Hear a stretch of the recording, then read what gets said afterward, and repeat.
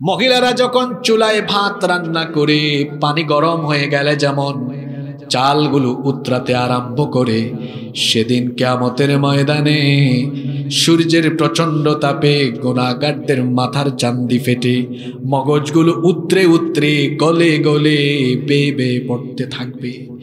পাপি তাপি জাহান্নামি বেঈমানরা ঘরমাক্ত হয়ে যাবে, কেউ হাঁটু পর্যন্ত ঘামাবে কেউ কোমর পর্যন্ত, কেউ বুক পর্যন্ত, কেউ বা আবার ঘামের মধ্যে সাঁতরাতে থাকবে। মানসিক ভয়াবহ পরিস্থিতি সেদিন পর্যবেক্ষণ করবে। টিউবওয়েল নাই, নদী নাই, কুয়া নাই, সাগর নাই, হাউজে কাউসারের পানি ছাড়া সেদিন কোনো পানি নাই। পিপাসার যন্ত্রণায় মানুষের জিহবাটা বের হয়ে পাপি তাপি জাহান্নামি বেঈমানদের। জিহবাটা বের হয়ে কুকুরের মতো নাভিস্থল পর্যন্ত ঝুলতে থাকবে। আল্লাহ আকবার। গাছপালা উদ্ভিদ কিছুই সেদিন থাকবে না। কেবলমাত্র আল্লাহর আরশের ছায়া থাকবে। সেই দিন রব্বুল আলামিন কেয়ামতের ময়দানে দয়া করে অনুগ্রহ করে সাত শ্রেণির মানুষকে ডেকে ডেকে ডেকে ডেকে তার রহমতের ছায়ায় আরসের ছায়ার নিচে জায়গা দিবেন। পুরুষোচিত কণ্ঠে পুরুষ মানুষের মতো জবাব দিয়ে বলেন, আল্লাহ আরসের ছায়ার নিচে সেই দিন কয় শ্রেণির মানুষকে জায়গা দিবেন? আরও জোরে বলেন, কয় শ্রেণি? ওই সাত কাতারের ভেতরে আমরা থাকতে চাই কি চাই না? আরও জোরে বলেন, থাকতে চাই কি চাই না? একটা দুইটা হাদিসের কিতাব নয়। বিখ্যাত হাদিসের অনেকগুলো গ্রন্থেই হাদিস বর্ণিত হয়েছে। বুখারি, মুসলিম, তিরমিদি, নাসাই, আবু দাউদ সহ অনেকগুলো হাদিসের গ্রন্থে এক যুগে এই হাদিস বর্ণিত হয়েছে। হাদিস বর্ণনাকারী সাহাবি হচ্ছেন সর্বাধিক হাদিস যিনি বর্ণনা করেছেন সৈয়দুল মুহাদ্দিসিন আবু আন তিনি বলেছেন, আল্লাহর হাবিব বলেছেন সাবআতুন ইউদিল্লুহুমুল্লাহু ফি যিল্লিহি ইয়াউমা লা যিল্লা ইল্লা যিল্লু সাত শ্রেণির মানুষকে রব্বুল আলামিন কেয়ামতের সেই মহাবিভীষিকাময় দিনে তার আরশের ছায়ার নিচে জায়গা দিবেন। যেই দিন আল্লাহর আরশের ছায়া ছাড়া আর কোনো ছায়া থাকবে না। এক নম্বর হচ্ছে আল ইমামুল আদিল ন্যায় পরায়ণ শাসক। দুই নম্বর হলো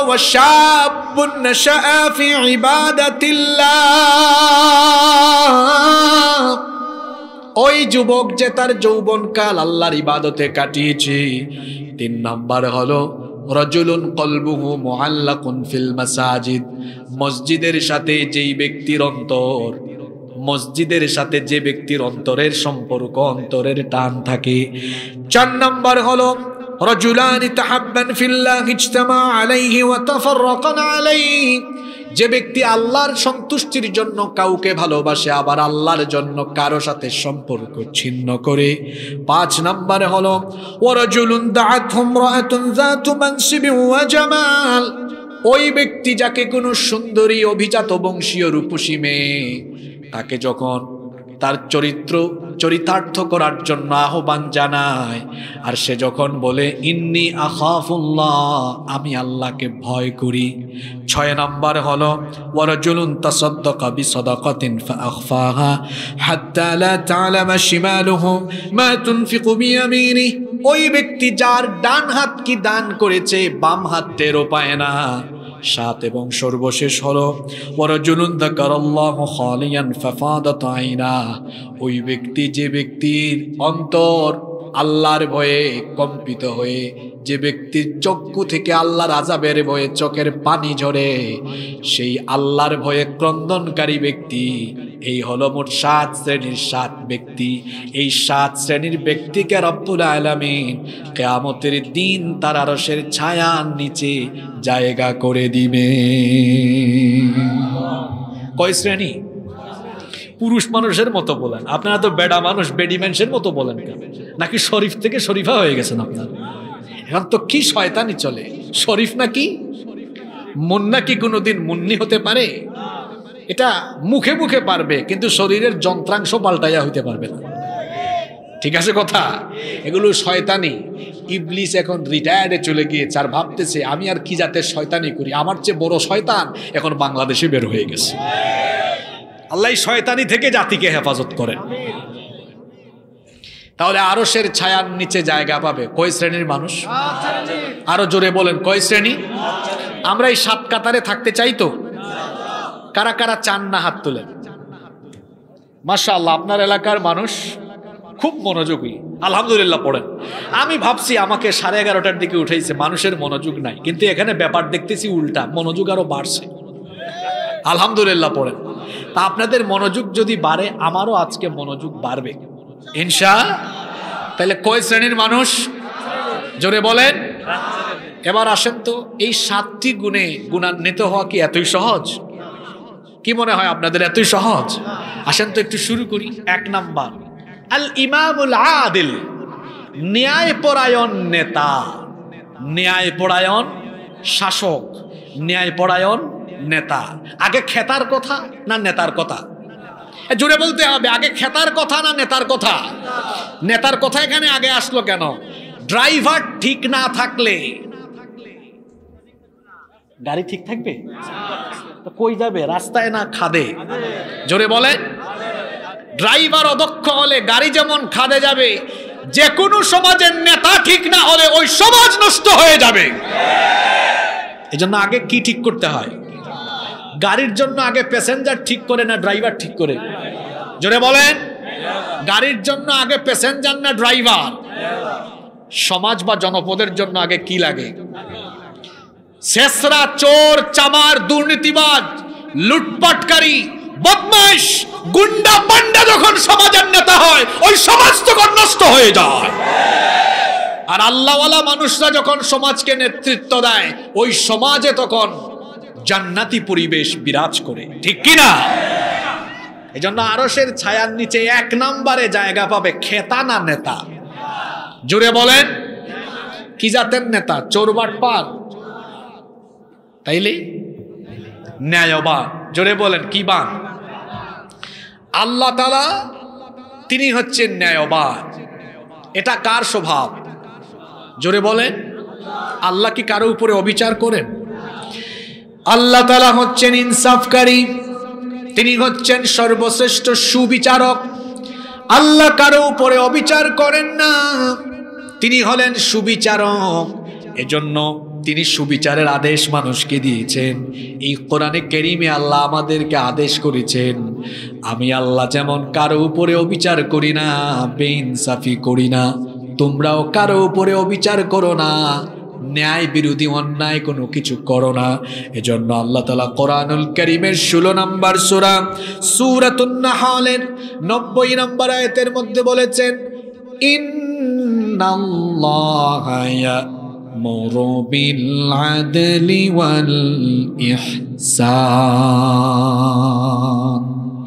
নিশ্চয়ই আল্লাহ তোমাদেরকে ন্যায় নীতি ইনসাফ, সুবিচার এবং সদাচারের আদেশ দিচ্ছেন।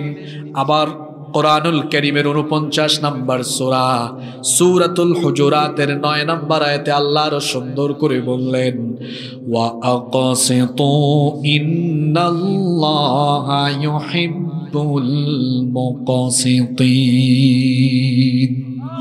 তোমরা সুবিচার করো, ইনসাফ করো, কারণ সুবিচার এবং ইনসাফকারীদেরকে যিনি পছন্দ করেন, গলার আওয়াজ বড় করে সবাই বলেন, তিনি কে?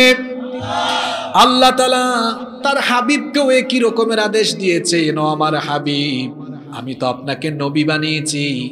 নবীগণ শুধু মানুষকে নামাজ রোজার কথা বলেন নাই, বরং নবীগণ মানুষদেরকে আল্লাহর ইবাদতমুখী করার পাশাপাশি নবীগণ গোটা সমাজ ব্যবস্থাকে দিনমুখী করে গোটা সমাজ ব্যবস্থাকে দিনমুখী করে গড়ার জন্য কাজ করেছেন। প্রত্যেক নবীরা ছিলেন জনবান্ধব সমাজ বান্ধব প্রত্যেক নবীদেরকে আল্লাহ দায়িত্ব দিয়েছিলেন, তারা যেন সমাজকে, জনপদকে, আল্লাহর আইনের আলোকে বাস্তবায়ন করেন।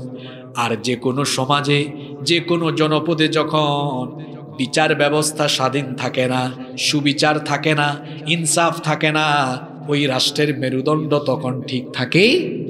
এজন্য আল্লাহ তালা তার হাবিবকে আদেশ দিয়েছেন আমার নবী, আপনি বিচার ব্যবস্থাকে ইনসাফ ভিত্তিক করুন, সুবিচার কায়েম করুন। আল্লাহ তালা কোরআনুল করিমের চার নম্বর সোরা, সুরাতুন নিসা এর আটান্ন নম্বর আয়াতে বলছেন বাইনান আদল। ইন্নাল্লাহা নি'মা ইয়াইদুকুম বিহি ইন্নাল্লাহা কানা সামিআন বাসীরা আল্লাহ তালা বলছেন, ও আমার হাবিব, আপনি যখন মানুষের মধ্যে বিচার করবেন, তখন আপনি ন্যায় বিচার কায়েম করবেন, কোনো বেইনসাফি করবেন না।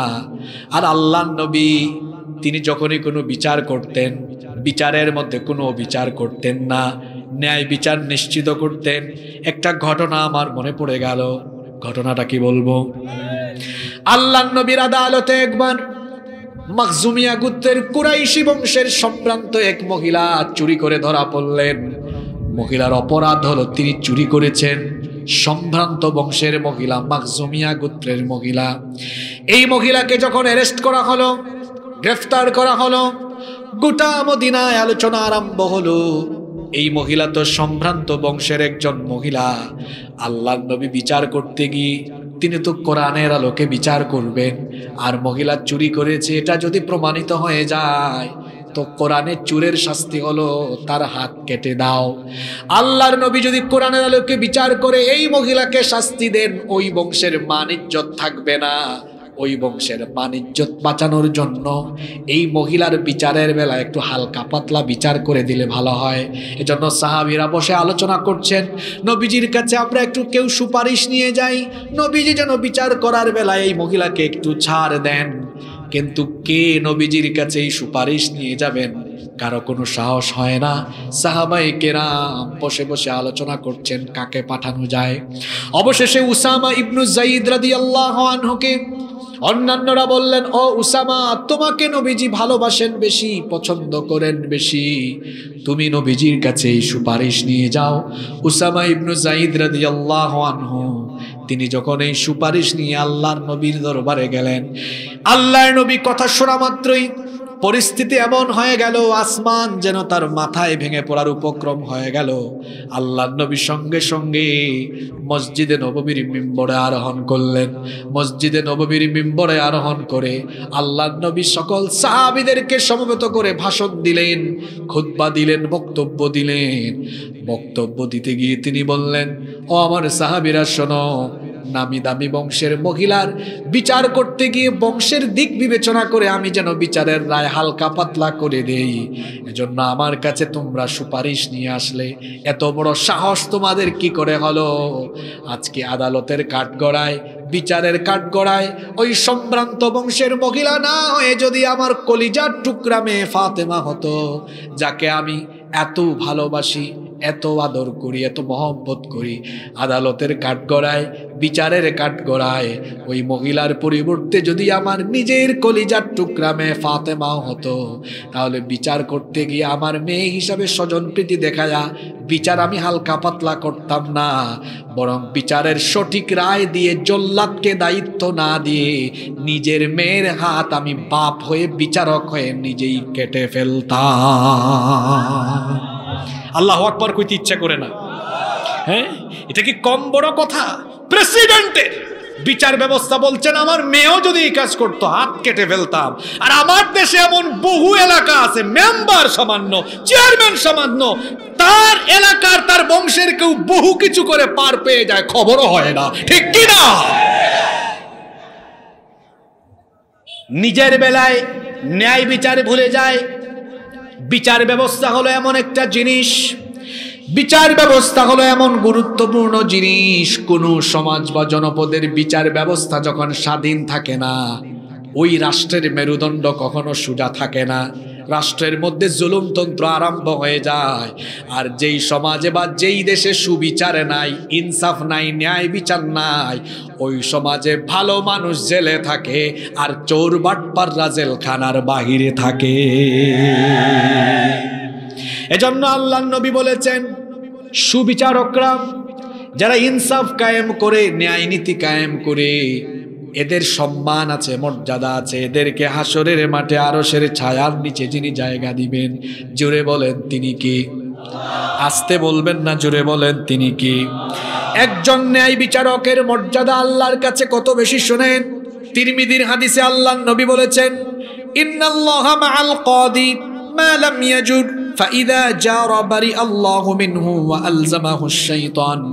যখন কোনো বিচারক বিচার করতে গিয়ে ন্যায় বিচার যতক্ষণ কায়েম করে, ওই বিচারকের সাথে আল্লাহর রহমত ততক্ষণ থাকে। আর যখন সে ন্যায় বিচার ভুলে গিয়ে, যখন সে দুনিয়ার মোহে কিংবা উপরের চাপে, যখন সুবিচারের পরিবর্তে অবিচার আরম্ভ করে। ওই বিচারকের কাছ থেকে আল্লাহর রহমত উঠে যায়, শয়তান তার সাথী হয়ে যায়। তাহলে এই হাদিসের আলোকে আমরা বলতে পারি, আসমানের নিচে, জমিনের উপরে যারা বিচার ফায়সালার ক্ষেত্রে ভালো মানুষ, নিরপরাধ মানুষের উপর জুলুম করে বসে, চেহারা সুরতে এরা মানুষ হলেও আসলে প্রকৃত পক্ষে এরা হলো মানুষ রূপী ইবলিশ শয়তানের ভাই। এইরকম বিচারক তো নাই। জি? জোরে বলেন। এটা শুধু ওই আদালতের বিচার না। এটা যে কোনো সেক্টর হতে পারে। এখানে একটা মীমাংসা বৈঠকের বিচারক হতে পারে। আরে আমাদের বিভিন্ন গ্রামে পাড়া মহল্লায়ও এমন ঘুষখুর বিচারক আছে সিগারেট বা সামান্য এক দুইশো পাঁচশো টাকা খায়া বিচারের রায় উল্টায় দেয়। অবশ্য তালা এরকম নাই। জি? পরিবার, সমাজ, রাষ্ট্র, যে কোনো ক্ষেত্রে আপনি যদি বিচারকের ভূমিকায় থাকেন, ন্যায় বিচার আপনাকে কায়েম করতে হবে। ন্যায় বিচারকের অনেক মর্যাদা। আল্লাহ নবী আরও বলেছেন, এই হাদিসটি মুসলিম শরীফে এসেছে, ইন্নাল মুকসিতিনা ইনদাল্লাহি আলা মানাবিরি মিন নূরিন আন ইয়ামিনির রহমানি আজ্জা ওয়া নবী বলেছেন, ন্যায় বিচারকের এত মর্যাদা কিয়ামতের মাঠে ন্যায় বিচারকদেরকে আল্লাহ তালার আরও সে আজিমের ডান পাশে আল্লাহ তাদেরকে নূরের আসনে বসাবেন, সমাসীন করবে। তাহলে ন্যায় বিচারকের মর্যাদা আল্লাহর কাছে কম না বেশি? আসতে বলবেন না, জোরে বলেন, কম না বেশি। সুতরাং আরসের ছায়ার নিচে জায়গা পেতে হলে ন্যায় বিচার করতে হবে। এই ন্যায় বিচার শুধু আদালত বা বিচারকের চেয়ারে বসেই নয়। আপনার পরিবারেও আপনাকে ন্যায় বিচার করতে হবে। মহিলা প্যান্ডেলে যারা আছেন, অনেক মায়েরা আছেন, সন্তান লালন পালনে অনেকে ইনসাফ করে না। দেখা যায় অনেকে ছেলেকে আদর করে বেশি, মেয়েকে আদর করে কম। বড় ছেলে টাকা কামায় বেশি, ছোট ছেলে টাকা কামায় কম। যে টাকা কামায় বেশি, তাকে আদর করে বেশি। যে টাকা কামায় কম, তাকে আদর করে কম। এটা ইনসাফ না বে ইনসাফ আরও জোরে বলেন, ইনসাফ না বে ইনসাফ সুতরাং যে কোনো ক্ষেত্রে যে কোনো সেক্টরে ইনসাফের বিপরীত করলেই আপনি জালিম হয়ে আল্লাহর আদালতে দাঁড়াতে হবে। আর ন্যায় বিচার করলেই সম্মান, মর্যাদা যিনি বাড়িয়ে দিবেন জুড়ে বলেন তিনি কি? এজন্য বিচার ফয়সালার ক্ষেত্রে ইনসাফ করতে হয়, বিচক্ষণতা দিয়ে বিচার করতে হয়। এখন অবস্থা যদি এমন হয়, বিচার করতে গিয়ে আপনি দলিল প্রমাণ দিয়েও সাক্ষ্যও পাচ্ছেন না, দলিল প্রমাণও পাওয়া যাচ্ছে না, বিচারকের আসনে আসেন। তখন আপনি কি করবেন?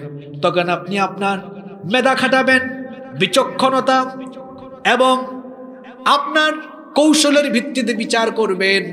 যেরকম বিচার করেছেন সেইদিনা সুলাইমান আলাইহিসালাম সুলাইমান আলাইহিসালাম হলেন এমন একজন নবী, যাকে আল্লাহ মাত্র ১৩ বছর বয়সে তার বাবার রেখে যাওয়া, দাউদ আলাইহিসালামের রেখে যাওয়া সিংহাসনে বসিয়ে গোটা পৃথিবী আল্লাহ তাকে দিয়ে শাসন করিয়েছে সেই সুলাইমান আলাইহিসালামের বিচারিক বিচক্ষণতা কেমন ছিল শুনেন? ঘটনা তো ছোট্ট আরেকটা মনে পড়ছে। আমি কি বলব? বলব? দুই মহিলা বিচার নিয়ে গিয়েছে দাউদ আলাহ ইসলামের কাছে। কার কাছে? বিচার কি? অভিযোগটা কি?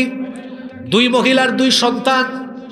দুই মহিলার দুই সন্তান এক জায়গায় ছিল, বাঘ এসে একটা সন্তানকে খেয়ে ফেলল, একটা খাইলো, বাকি আছে কয়টা? জোরে বলেন কয়টা? এখন গন্ডগোল বাঁধলো, দুই মহিলা দাবি করে যেটা বাকি আছে, ওইটা তাদের দুজনেরই সন্তান, পেশ আছে না নাই? জোরে বলেন। দুই মহিলাই দাবি করতেছে, এটা তাদের সন্তান। এখন সন্তানটা আসলে কার? দুইজনই তখন গিয়েছে দাউদ আলাই আলাইহিসালামের কাছে। দাউদ আলাই আলাইহিসালাম দুই মহিলার কাছ থেকে ঘটনা শুনে বললেন, যে মহিলার বয়স বেশি আমার বিচারের রায় তার পক্ষে। যে মহিলার বয়স্ক, এই সন্তানটাও হচ্ছে ওই মহিলার বিচারের রায় দিয়ে দিলেন। দুই মহিলা বের হয়ে যাচ্ছে যাওয়ার সময় দেখা হয়েছে দাউদ আলাইহিসালামের ছেলে সুলাইমান আলাইহিসালাম তাকে আল্লাহ অসাধারণ বিচক্ষণতা দিয়েছেন। সুলাইমান আলাইহিসালাম ওই দুই মহিলাকে বললেন, তোমরা এখানে কেন এসেছ? তারা ঘটনা শোনালেন। সুলাইমান আলাইহিসালাম বললেন, বিচারটা তো আমার পছন্দ হয় নাই। এই বিচারের সানি আমি আবার করি। তোমরা দুইজন কি রাজি আছো নাকি? দুইজন বলল হ্যাঁ। তখন সুলাইমান আলাইহি সালাম বললেন একটা চাকু নিয়ে আসো, একটা ছুরি নিয়ে আসো। দুই মহিলা তখন বললেন, ছুরি কেন আনার কথা বললেন? তিনি বললেন, তোমরা দুইজনই যেহেতু দাবি করছ, এটা তোমার সন্তান। সন্তান তো একটা দাবি করতেছ দুইজন। তো আমি একটু ইনসাফ করি, ন্যায় বিচার করে দেই। আমি ছুরি দিয়ে বাচ্চাটাকে দুই টুকরা করে দুইজনকে সমান সমান করে দুই টুকরা দিয়ে দিই, ইনসাফ হবে। এখন বলেন তো, যে মহিলার সন্তান, ওই মহিলা কি কোনোদিন চাইবে নাকি তার সন্তানকে চোখের সামনে কাটা হোক? কথা বলছেন না কেন? আপনারা আমাকে আরও এক ঘণ্টা আগে উঠানো উচিত ছিল। সুর দিয়া মানুষ আটকানো যায় না পেশাবকে আটকে দিতে পারব এত মজার ওয়াজ তো আরও আগে দিলে ভালো হতো ঠিক কি না? ছুরি দিয়া দুই ভাগ করি। এখন বয়সে ছোট যেই মহিলা, ওই মহিলা বলতেছে, না না কাটার দরকার নাই। কাটার দরকার নাই। ওই মহিলাকেই সন্তান দিয়ে দেন তাও কাটিয়েন না। আর বিচার করার দরকার নাই। সুলাইমান আলাইহিস সালাম বলেন, আমার বিচারের রায় আমি পেয়ে গিয়েছি। কারণ তোমার নিজের সন্তান বলে তুমি এটাকে চোখের সামনে ছুরি দিয়া কাটা দেখতে চাও না। তিনি বলেন, আমার বাবার বিচারের রায় ছিল ভুল। এখন আমি রায় দিচ্ছি সঠিক রায়। আমার রায় হলো বাচ্চাটা যার বয়স ছোট, ওই কম বয়সী মহিলার। এই জন্য নিজের চোখের সামনে তার বাচ্চাকে জবাই করা হোক বা দুই টুকরা হোক, এটা সে চায় না। সুবহান আল্লাহ পড়েন। এই ঘটনাটা কেন শোনালাম? একটা ভুল রায়। এর কারণে কিন্তু অবিচার কায়েম হয়ে যেতে পারে।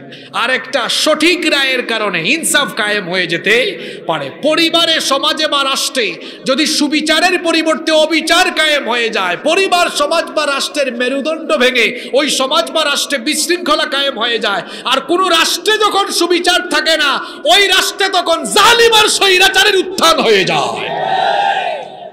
পরিবেশ খারাপ, সব কথা ভেঙে বলা যাবে না। আকলমানকে ইশারা দিলেই চলে। তাহলে যেই সমাজে সুবিচার নাই, সেই সমাজে আলেম থাকে না জালেম থাকে? সেখানে ভালো শাসক থাকে না স্বৈরাচার থাকে? কেয়ামতের ময়দানে এক নম্বরে আরও সে আজিমের নিচে, ছায়ার নিচে জায়গা পাবে নেতা না খেতা। আরও জোরে বলতে হবে কোন নেতা, কোন শাসক যারা মানুষের মধ্যে ন্যায়, বিচার, ইনসাফ কায়েম করে, আল্লাহ আপনি আমাদের সবাইকে ন্যায় নীতির গুণ দিয়ে গুণান্বিত করে দেন বলে না আমিন। আরও জোরে না আমিন। দুই নম্বরে হলো, যুবক ভাইরা আসে না ঘুমাই গেছে। কি, যুবকরা আসে না ঘুমাই গেছে? দুই নাম্বার হলো, ওই যুবক ও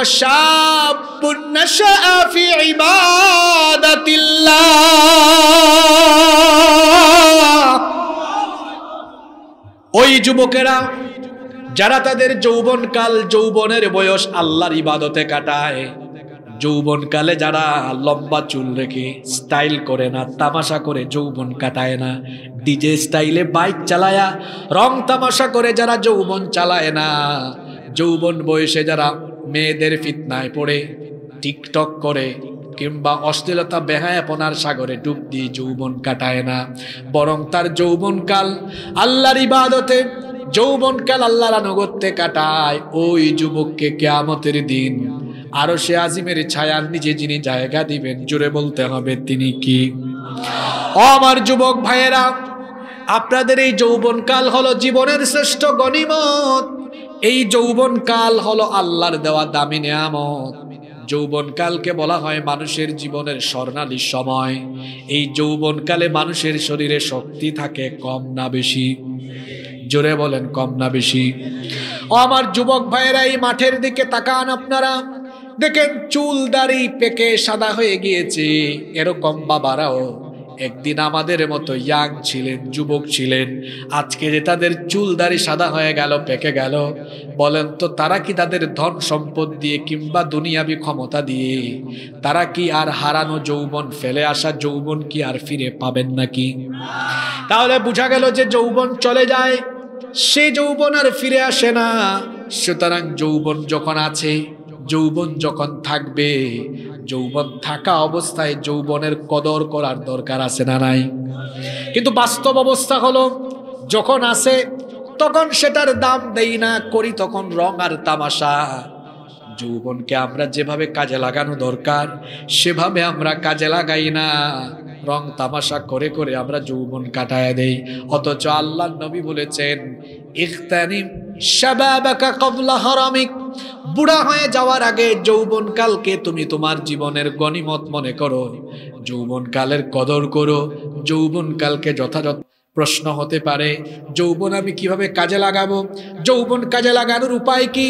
যৌবন কাজে লাগানোর উপায় হলো যৌবন যিনি দিয়েছে তার কাছে এই যৌবনটা ওয়াকফ করে দেওয়া। গলার আওয়াজ বড় করে সবাই বলেন তো, আমাদের যৌবন যিনি দান করেছেন তিনি কি?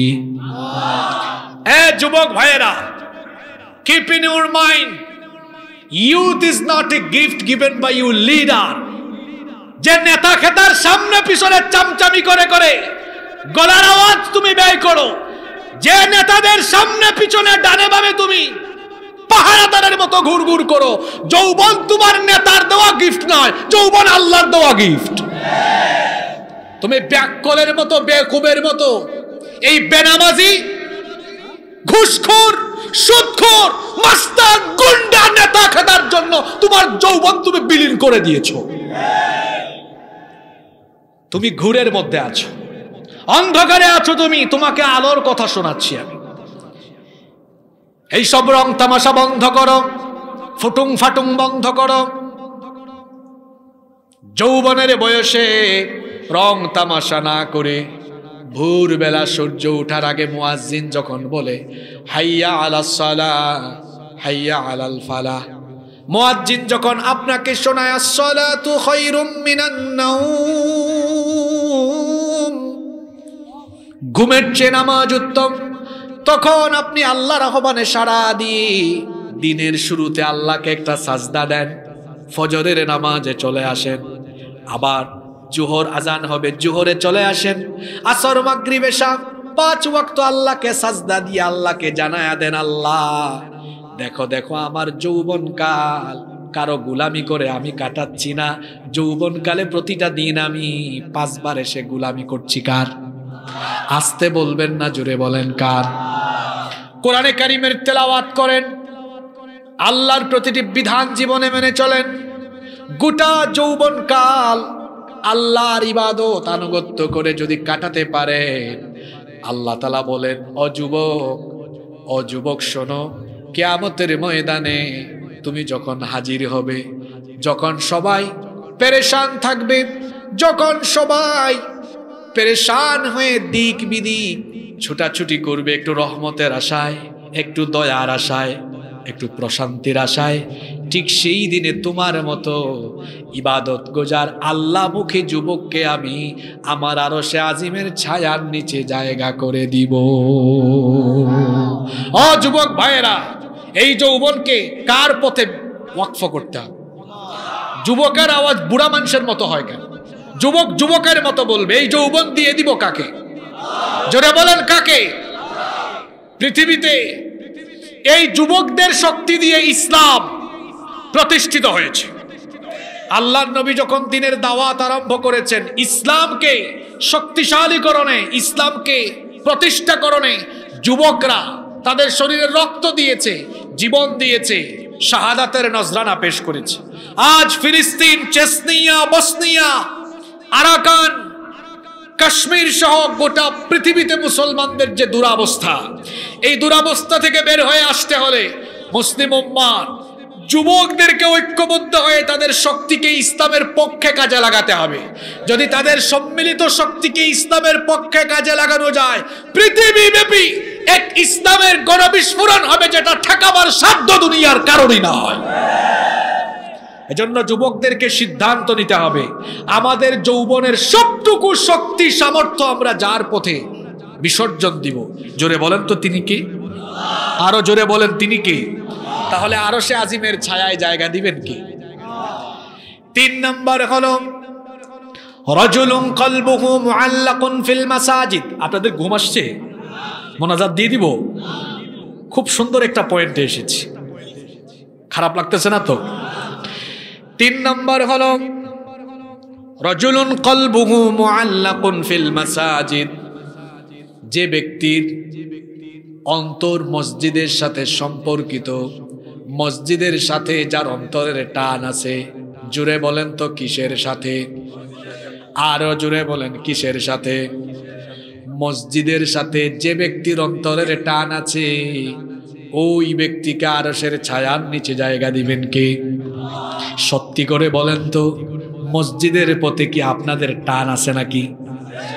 সত্যি আছে? ঠিক আছে, আসছে ভালো কথা।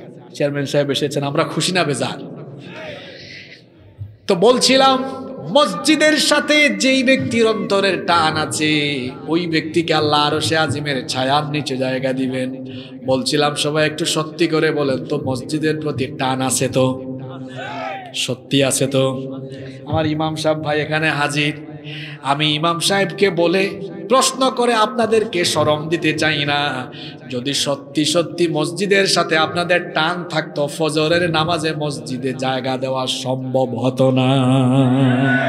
এইটাও ঠিক, আগেরটাও ঠিক। এখন আমি ঠিক ধরবো কোনটা কথা বুঝেন নাই? বলেছি মসজিদের সাথে টান আছে কিনা? জি, হুজুর আছে। আবার যখন বললাম যে ফজরের নামাজে কেমন অবস্থা? বেশিরভাগ মসজিদের অবস্থা হলো টেনে টুনে এক কাতারও করা যায়। এটা ভালো লক্ষণ না খারাপ লক্ষণ? মসজিদের সাথে সম্পর্ক কেমন হওয়া চাই? মনোযোগ আছে তো? মনোযোগ দেন। আমাদের প্রিয় নবী, দয়ার নবী, মায়ার নবী রাহমাতাল্লিল আলামিন। মুহাম্মাদুর রাসূলুল্লাহ সাল্লাল্লাহু আলাইহি ওয়াসাল্লাম। মসজিদের সাথে তার সম্পর্কটা কেমন ছিল শোনেন। আল্লাহর নবী দুনিয়া থেকে চলে যাওয়ার কয়েকদিন আগে প্রচণ্ড রকমের অসুস্থ হয়ে পড়লেন। এত অসুস্থতা তিনি বিছানা থেকে উঠতে পারেন না, বিছানা থেকে উঠে বসতে পারেন না, একাকি দাঁড়াতে পারেন না। হাঁটা চলা করতে পারেন না। প্রচণ্ড রকমের যখন অসুস্থতা তাকে ঘিরে ধরল। সেই সময়ও আল্লাহ নবী কি করেছেন শোনেন? আম্মা জান আইসা রাদি আল্লাহ আনহার ঘরে নবীজি আছেন। তিনি বললেন, দুজন সাহাবিকে ডাকো। আমি ঘরে নামাজ পড়তে চাই না, মসজিদে যেতে চাই। আম্মা জান আইসা রাদি আল্লাহ আনহাকে বললেন আয়সা আমার গোসলের ব্যবস্থা করো, অজুর ব্যবস্থা করো। আল্লাহ নবী এই অবস্থায় অজু করলেন, গোসল করলেন। দাঁড়াতে পারেন না, একাকি হাঁটতে পারেন না। দুজন সাহাবিকে ডেকে এনে, দুজন সাহাবির কাঁধের উপরে ভর করে মসজিদে নবমীতে হাজির হয়েছেন। নামাজে ইমামতি করেছেন খুদ্বাও দিয়েছেন। খুদ্া দিতে গিয়ে আল্লাহ নবী সাহাবিদেরকে বলেছিলেন, আমার সাহাবিরা, শোনো, আল্লাহ রাব্বুল আলামিন এই পৃথিবীর সকল সম্পদ দুনিয়ার একজন ব্যক্তিকে দিতে চেয়েছিলেন। আর সেই ব্যক্তি দুনিয়ার সকল সম্পদকে উপেক্ষা করে তার মালিকের সাথে দিদার লাভকে তিনি পছন্দ করেছেন, প্রায়োরিটি দিয়েছেন। আল্লাহ নবীর এই বক্তৃতা কেউ বুঝতে পারলেন না, কিন্তু আল্লাহ নবীর সবচেয়ে কাছের বন্ধু, বয়োবৃদ্ধ জ্ঞান বৃদ্ধ সাহাবি আবু বকর রাদি আল্লাহ আল্লাহর নবীর জবান থেকে এই বক্তৃতা শুনে বাচ্চা শিশুর মতো ক্রন্দন করে উঠলেন।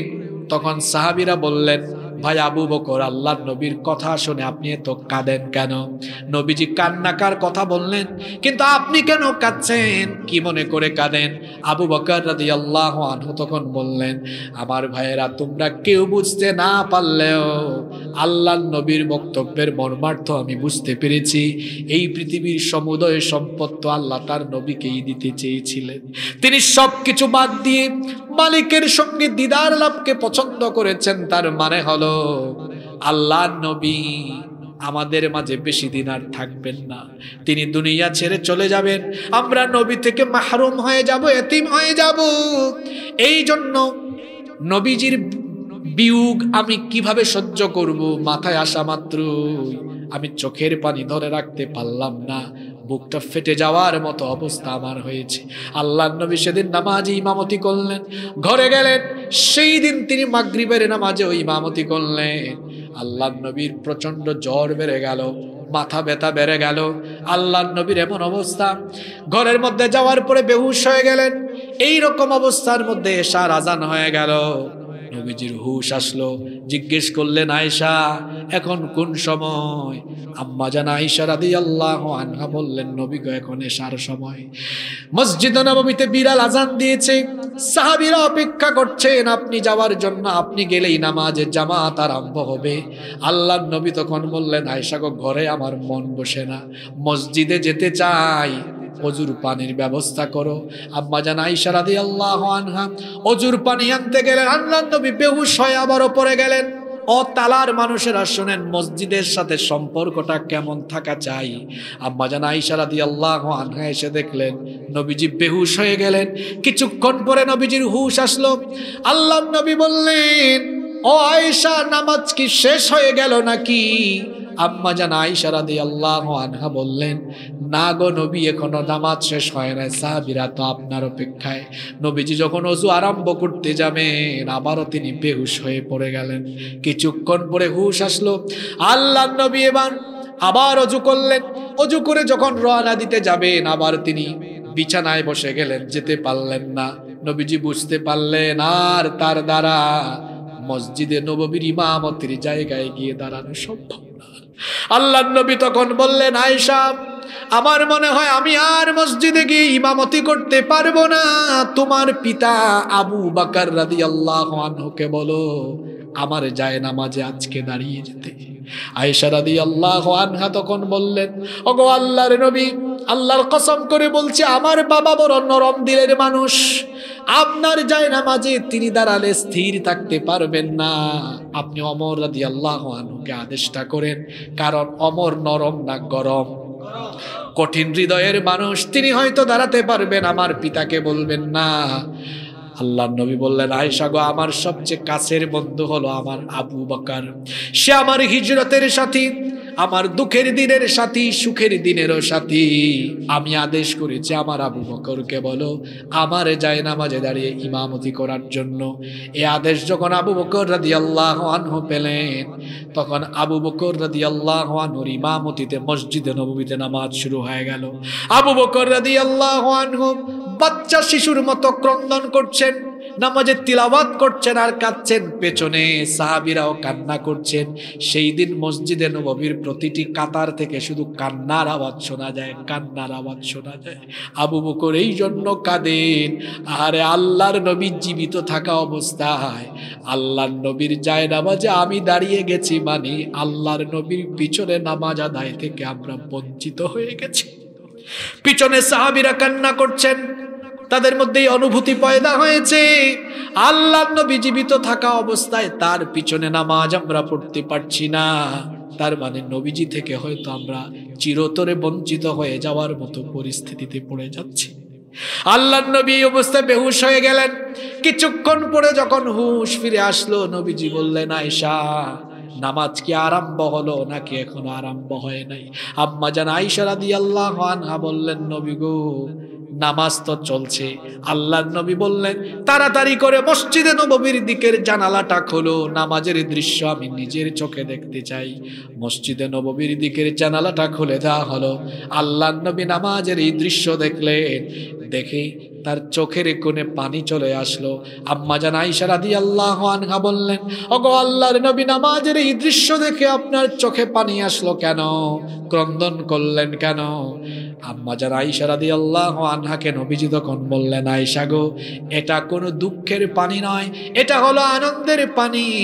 এই যে আমার অনুপস্থিতিতে আমার সাহাবিরা মসজিদে এত সুন্দর করে জামাতে নামাজ আদায় করছে, এই নামাজের পরিস্থিতি, এই দৃশ্য বাস্তবায়ন করার জন্য আমি মক্কার জমিনে আমার শরীর থেকে রক্ত দিয়েছি। সাফা পাহাড়ে রক্ত ঝরিয়েছি। তাইফে উহুদে আমার রক্ত ঝরেছে। অসংখ্য সাহাবিরা জীবন দিয়েছে। রক্ত ত্যাগ আর শাহাদাতের বিনিময়ে যে সুন্দর দৃশ্য আমি পৃথিবী থেকে যাওয়ার আগে দেখলাম। এটা দেখে আমার মধ্যে এই অনুভূতি পয়দা হয়েছে। আমার কাছে মনে হয়েছে আমি না থাকলেও কেয়ামত পর্যন্ত এভাবে আমার উম্মতেরা আজান হলেই মসজিদে এসে মসজিদে তারা জামাতের সাথে নামাজ আদায় করবে। যে আশাটা আল্লাহ নবী করে গেলেন, সেই আশা কি আমরা পূরণ করতে পারছি? কথা বলছেন না কেন আপনারা? মাহফিলে তো মানুষের জায়গা হয় না।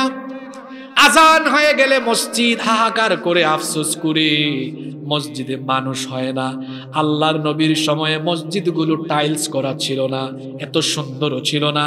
আমাদের গ্রামের মসজিদগুলো এখন পাকা। আল্লাহর নবীর সময়ে মসজিদ ছিল কাঁচা, মুসল্লি ছিল পাকা।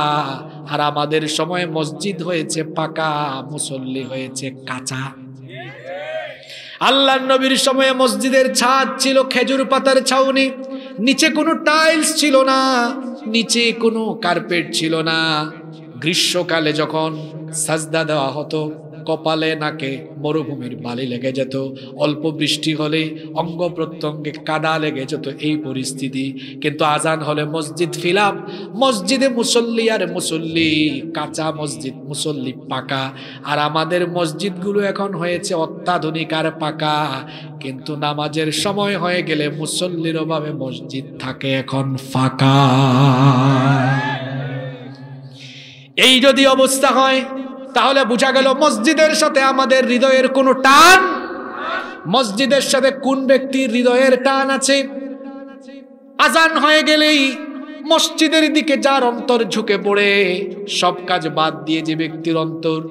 মসজিদের দিকে ছুটতে থাকে। ওই ব্যক্তির অন্তরের সাথে মসজিদের টান আছে, আর যার অন্তরের সাথে মসজিদের টান আছে, আরও সে আজিমের ছায়ার নিচে কেমতের দিন তাকে যিনি জায়গা করে দিবেন, তিনি কি?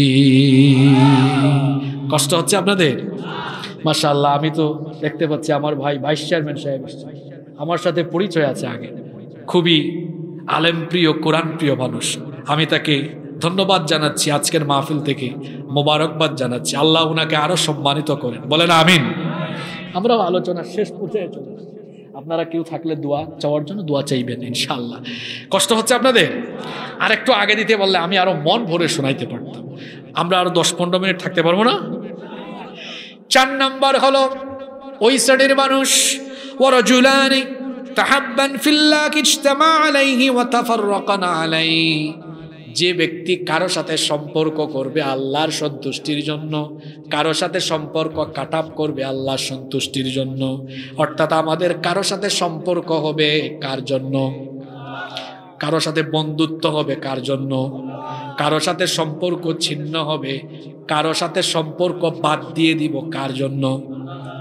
অর্থাৎ আল্লাহর দিনের প্রতি যার দরদ আছে, তার সাথে আমার সম্পর্ক আছে।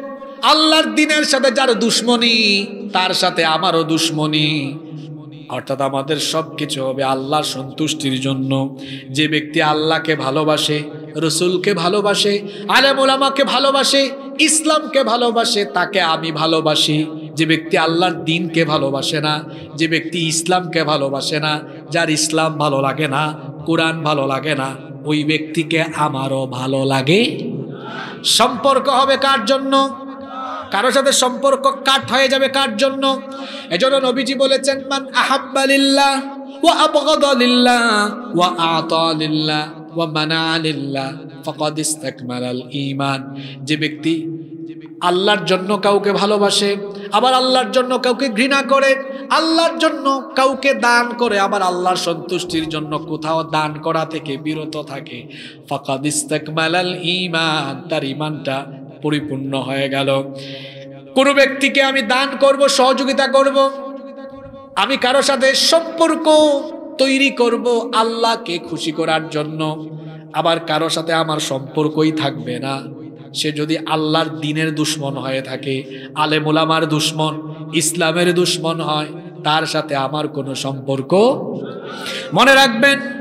অসৎ বন্ধুদের সাথে চলাফেরা করার কারণে কেয়ামতের দিন এটা আপনার জন্য আফসুসের কারণ হয়ে যেতে পারে সোরা ফুরকানের সাতাইশ নম্বর আয়াতে আল্লাহ তালা বলছেন ওয়াইয়াউমা ইয়াদ্দু الظالم على يديه يقول يا ليتني اتخذت مع الرسول سبيلا আল্লাহ তালা বলছেন সেই দিন জালেমেরা তাদের দুই হাত কামড়ে কামড়ে আফসুস করবে, আফসুস। দুনিয়াতে যখন ছিলাম, কেন আমি রাসুলের তরিকা অনুসরণ করলাম না? যারা রাসুলকে ভালোবেসে জীবন যাপন করতো, রাসুলের অনুসরণকারী ছিল, কেন তাদেরকে আমার বন্ধু বানালাম না? আফসুস করে করে এরা আরও বলবে, ইয়া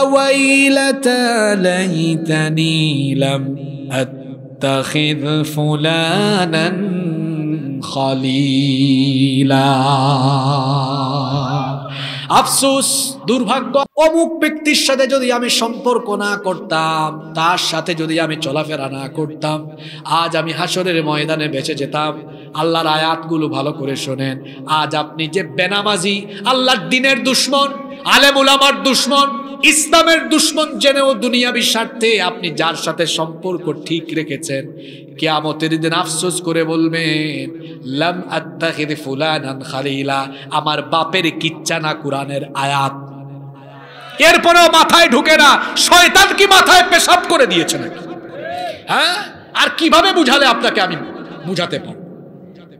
এখনও সময় আছে, ভালো হয়ে যান। নইলে আল্লাহ সুরা ফুরকানের আঠাইশ নম্বর আয়াতে বলেছেন দুই হাত কামড়ায় কামড়ায় তখন বলবেন, লাম খালিলা। তাকে যদি আমার বন্ধু না বানাতাম, আমি তো নাম ধরে আপনাকে বলতে পারব না। আপনি বুঝে নিতে হবে, যেই ব্যক্তি আল্লাহর দিনের দুশ্মন কোরআনের দুশ্মন, ইসলামের দুশ্মন, তার সাথে সক্ষতা তার সাথে বন্ধুত্ব। হাসরের মাঠে বলবেন, হায় হায়, যদি তার সাথে না চলতাম, বাঁচতাম, তার সাথে ছিলাম বলে আজকে মরলাম। ঠিক কি না? সুতরাং হাসরের মাঠে জিল্লতির আগে দুনিয়াতে থাকাকালীন ভালো হয়ে যাওয়ার একটা সুযোগ আমার কাছে আছে না নাই? এজন্য আল্লাহ নবী বলেছেন, কাউকে ভালোবাসো আল্লাহর সন্তুষ্টির জন্য। যেমন আমাকে আপনারা ভালোবাসবেন কার জন্য? আবার আমি যদি আল্লাহর আল্লাহ রসুলের পথ থেকে বিচ্যুত হয়ে যায় আমাকে আপনারা ঘৃণাও করবেন কাকে খুশি করার জন্য? তার মানে বোঝা গেল আমাদের সম্পর্ক হবে বা সম্পর্ক ছিন্ন হবে। কার জন্য? এই ব্যক্তিদেরকে কেয়ামতের দিন আরও সে আজিমের ছায়ার নিচে যিনি জায়গা দিবেন, জুড়ে বলেন তিনি কি? পাঁচ নম্বরে হলো সেই ব্যক্তি ওরজুলুন দাআতহুম রাআতুন যাতু জামাল। ওই যুবক যাকে কোনো অভিজাত বংশীয় সমৃদ্ধ বংশের কোন সুন্দরী রূপসী নারী তাকে যখন কুপ্রস্তাব দিল, আর সেই যুবক তখন বলল, ইন্নি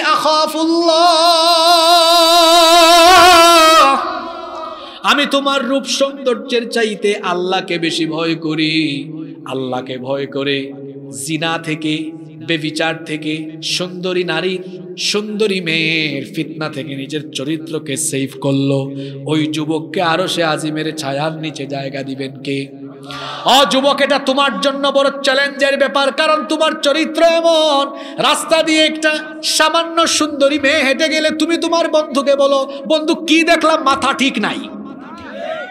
তার মানে তোমার মন মানসিকতায় সমস্যা আছে, চরিত্রে ঝামেলা আছে। ও আমার যুবক ভাইয়েরা, চরিত্র বানাতে হবে ইউসুফ আলাইহিস সালামের মতো।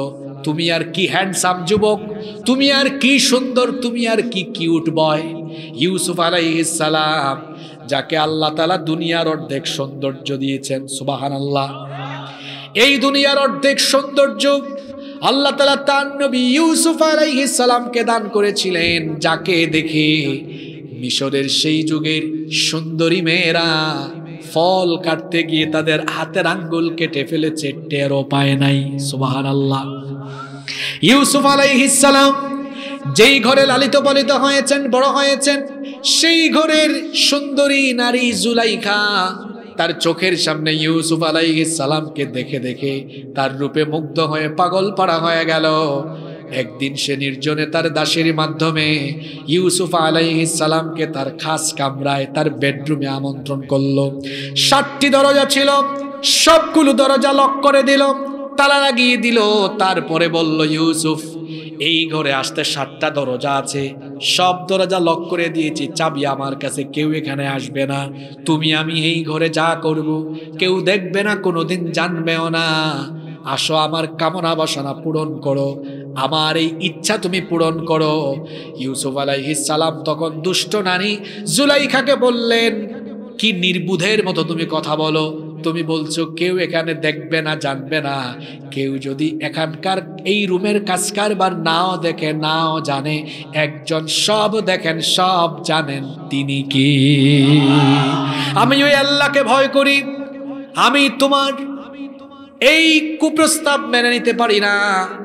জুলাইখার এই কুপ্রস্তাব তিনি রিজেক্ট করলেন, প্রত্যাখ্যান করলেন। তিনি জানেন, দরজাগুলো বন্ধ, দরজাগুলো লক করা কিন্তু তারপরেও আল্লাহর ভয়ে আল্লাহকে রাজি খুশি করার জন্য ওই তালা লাগানো দরজাগুলো দিয়ে তিনি যখন একটা দৌড় মারলেন, আল্লাহ তালা খুশি হয়ে গিয়ে সাতটি দরজা, সবগুলো দরজার তালা আল্লাহ তার কুদরত দিয়ে খুলে দিয়ে ইউসুফ সালামের জন্য সব দরজা আল্লাহ ওপেন করে দিলে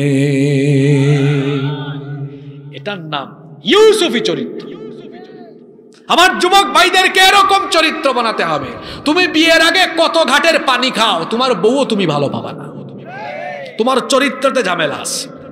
আর যারা কলেজে বিশ্ববিদ্যালয়ে পড়াশোনা করো, তাদেরকে বলছি, পড়াশোনাকালীন সময়ে মেয়েদের পিছনে ঘুরঘুর করো না, এটা অসভ্য ছেলেদের কাজ। তুমি এই বয়সে পড়াশোনায় মনোযোগী হও, চরিত্র ঠিক করো। তোমার কেরিয়ার ভালো হলে চরিত্র যদি ঠিক হয়, এই তালার হাজার হাজার সুন্দরী মেয়ের বাপ তোমার কাছে মেয়ে বিয়ে দেওয়ার জন্য তোমার পিছে ঘুরঘুর ঘুরঘুর করবে তুমি অসভ্য ছেলের মতো মেয়েদের পিছনে ঘুরঘুর করো নিজের চরিত্র ঠিক করো তাহলে তোমার পিছে মানুষ ঘুরবে নিজেকে ওই যোগ্যতায় নিয়ে যাও আল্লাহ সব যুবকদেরকে কবুল করেন ছয় নম্বর হলো ওই ব্যক্তি ورجل تصدق بصدقة فأخفاها حتى لا تعلم شماله ما تنفق بيمينه যেই ব্যক্তির ডান হাত কি দান করলো বাম হাতও তার খবর পেল না। মানে যে ব্যক্তি গোপনে গোপনে দান সৎকা করে, হা, দান সৎকা প্রকাশ্যেও করতে হয়, গোপনে গোপনেও করতে হয়, দুটাই ভালো। কিন্তু প্রকাশ্যে দান সৎকা করলে কোনো ক্ষতি নাই, বরং মনের উদ্দেশ্য যদি এটা থাকে, আমি প্রকাশ্যে দান করলে আমাকে দেখে আরও বহু মানুষ উদ্বুদ্ধ হবে। কোনো অসুবিধা নাই। কিন্তু যদি মনের নিয়ত থাকে এটা, আমি দিলে মানুষ জানবে মানুষ জানবে, এই নিয়তে দিলে সেটা হয়ে যাবে রিয়া। এই দান আর কবুল হবে কিন্তু মানুষকে উদ্বুদ্ধ করার জন্য আর আল্লাহ সন্তুষ্টির উদ্দেশ্যে দিলে আমার মনের খবর আপনি জানেন না।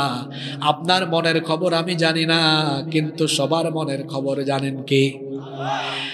প্রকাশ্যে দান করার পাশাপাশি গোপনে গোপনেও দান করবেন। গোপনে গোপনে আপনি মানুষকে সহযোগিতা করবেন। আমাদের সমাজে আমাদের অনেক অসহায় ভাই বোন আছে না নাই? মসজিদে মাদ্রাসায় তো আমরা দান করি, সেটা ভালো কথা।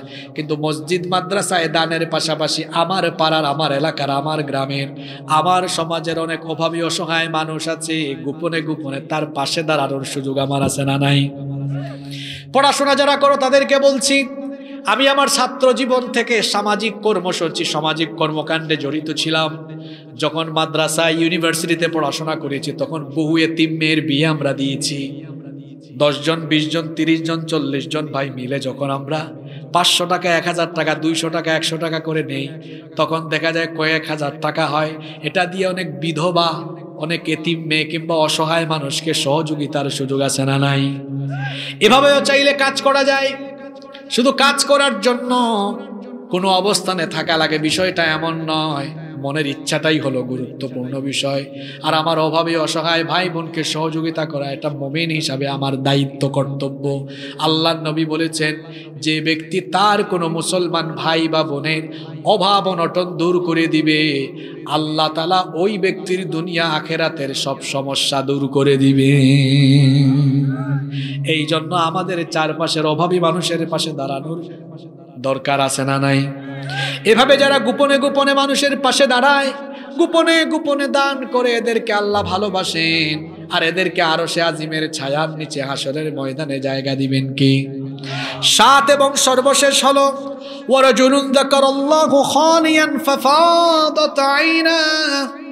ওই ব্যক্তি, যেই ব্যক্তি নীরবে নিভৃতে একাকী, আল্লাহর ভয়ে চোখের পানি ঝরায়। কথায় আছে, শেষ ভালো যার, সব ভালো তার। এই পয়েন্টটা ছোট বড় সকলে আপনারা মনোযোগ দিয়ে শোনেন। শয়তান যেভাবে আমাদেরকে ঘাপটি মেরে ধরেছে, যখন আমরা একটু একা হই, যখন আমরা একটু নীরবে থাকি, একাকিত্বে চলে যাই, তখন দেখবেন শয়তান আমাদেরকে দিয়ে গুণা করাতে চায়। যেমন একটা উদাহরণ দিই যুবকদেরকে বলি, একা একা যখন রুমে থাকেন মোবাইল হাতে থাকলে আজে বাজে চিন্তা আসে কি আসে না? জুড়ে বলেন। একাকি নীরবে নিবৃতে, তামাশা, ফুর্তি, জিনা, অশ্লীলতা, বেহায়াপনা না করে বরং একা হলেই যার অন্তরে আল্লাহর আজাবের ভয় চলে আসে, যে ব্যক্তির অন্তরটা কেঁপে উঠে আহারে। রাত একটা, সব মানুষ ঘুমায় গেল। আমার মনে পড়ে গেল, আমার তো দিনগুলো কমে গেল। মানুষের হায়াত আসলে বাড়ে না, মানুষের হায়াত দিনে দিনে কমে যাচ্ছে, হায়াতটা ফুরিয়ে যাচ্ছে, কবরের দিকে আমি চলে যাচ্ছি, কি করলাম? আল্লাহর জাহান নামের আজাব এটা তো আমি সহ্য করতে পারব না। আমি কত গুণা করেছি, পৃথিবীর মানুষ না জানলেও আল্লাহ জানে কি জানে না। আপনি কত গুণা করেছেন কেউ না জানুক, আপনি জানেন না? জোরে বলেন, জানেন কি জানেন না? একটু চক্ষু বন্ধ করে মনে করেন, সব মনে পড়ে। পৃথিবী না জানো আমি তো জানি, আমি কি পাপ করেছি? হায়, পৃথিবী না জানো আমি তো জানি আমি কি পাপ করেছি? হায়, আমার পাপের করলে বিচার, বাচার আমার নাই উপায়। দয়াময় তুমি মাফ করো আমায়। মাফ করো আমায়। জেনে না জেনে কত যে আমি করেছি পাপ, কতবার যে করেছি তাও বা কতবার দুদিনে আবার সব ভুলে আমি দুদিনে আবার সব ভুলে আমি মজে গেছি দুনিয়ায়। মাফ করো আমায়, পৃথিবী না জানো, আমি তো জানি, আমি কি পাপ করেছি হায়। আমি জানি কি জানি না। চক্ষু বন্ধ করে দেখুন, কি গুণা করেছেন, সব মনে আসবে। এই যে আমাদের গায়ে কাপড় চুপড় আছে, এগুলো ময়লা হয়ে গেল, ঘাম লেগে গেল, পরিষ্কার করার জন্য সাবান আছে, ডিটারজেন্ট পাউডার আছে। কাপড় ময়লা হয়ে গেলে ময়লা কাপড় পরিষ্কারের জন্য যেমন সাবান বা ডিটারজেন্ট পাউডার লাগে, তেমনি আমার আপনার জীবনের গুনাহের দাগ দূর করার জন্য চোখের পানির দরকার আছে না নাই? এই চোখের পানি তো বের হয় না। দিল পাথরের মতো শক্ত হয়ে গেল, রাতের বেলা চক্ষু থেকে পানি ঝরে না। আল্লাহ রাজাবের কথা আপনার মনে পড়ে না? জাহান নামের ভয়ে কলিজাটা কাঁপে না। আল্লাহ রাজাবের ভয় অন্তরে আসে না। মাথায় আল্লাহর ভয়ের কাজ করে না।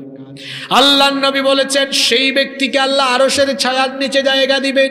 যেই ব্যক্তি একাকী, নীরবে, নিভৃতে আল্লাহ রাজাবের ভয়ে চক্ষু থেকে পানি ঝরায় আল্লাহ রাজাবের ভয়ে যার চোখের পানি বের হয়, আল্লাহর ভয়ে ক্রন্দনরত ব্যক্তিকে আরও সে আজিমের ছায়ার নিচে যিনি জায়গা দিবেন, তিনি কি? এই কয়টা শ্রেণির কথা বলেছি। জোরে বলেন তো। দেখি কে কে মনে রেখেছেন? এক নাম্বার কি বলেছি? ন্যায় বিচারক? মাশাল্লাহ এই তো সাতক্ষীরার মানুষের মতো বাদ শুনছেন আপনারা। ন্যায় বিচারক বাদশা বা শাসক, নেতা। দুই নাম্বার, ওই যুবক, কোন যুবক? যে যৌবনকাল কার পথে কাটায়? তিন নাম্বার, যার অন্তরের সাথে কিসের টান? চার নাম্বার, সম্পর্ক হবে বা সম্পর্ক কাটাপ হবে কার জন্য? পাঁচ নাম্বার ওই যুবক যাকে কোনো উচ্চবংশীয় সুন্দরী মেয়ে কুপ্রস্তাব দিলে, সে তখন ফিরিয়ে দেয় কার ভয়ে? ছয় নাম্বার, যে ব্যক্তি গোপনে গোপনে দান করে। সাত নাম্বার, যার চক্ষু আল্লাহর ভয়ে কাঁদে। সুবাহান আল্লাহ এই সাত গুণে গুণান্বিত হবে যারা আরও সে আজিমের নিচে, কিয়ামতের বিভীষিকাময় দিনে, আল্লাহর আরও সে আজিমের নিচে জায়গা পাবে তারা সুবাহান আর আল্লাহর আরও সে আজিমের নিচে কিয়ামতের মাঠে জায়গা পাবে যারা সফল কাম তারা জান্নাতি হলো তারা। তাহলে এই সাত শ্রেণির ভিতরে আমরা থাকতে পারব তো? তাহলে এখান থেকে আমরা অন্তত একটা শিক্ষা নারী পুরুষ সবার জন্য। মসজিদের সাথে যেটাকে আমরা এভাবে বলতে পারি নামাজের প্রতি টান থাকা। এই নামাজের প্রতি টান থাকবে তো আমাদের? নাকি আজান হলে খবর থাকবে না? আমাদের মসজিদ যেমন পাকা, আমরাও হব, নাকি কাঁচা হব? আজ থেকে নামাজ ছাড়বো না। আজকে মসজিদের উদ্যোগে ওয়াজ। আজকে মসজিদের উদ্যোগে মাহফিল। আমাদের এই আলাদিপুর না? আমাদের আলাদিপুর বা আরও যারা দূর থেকে এসছেন, আমি শুনেছি দূর থেকে অনেক মা বোনেরা এসেছেন, অনেক ভাইয়েরা, বাবারা এসেছেন। আমাদের পাড়ার যে মসজিদই আছে, আমরা আজান হলে মসজিদে হাজির হয়ে আমরা জামাতে নামাজ আদায় করব। পারব তো ইনশাল্লাহ আমরা কথা দিলাম তো। আল্লাহ আমাদের সবাইকে কবুল করে নেন।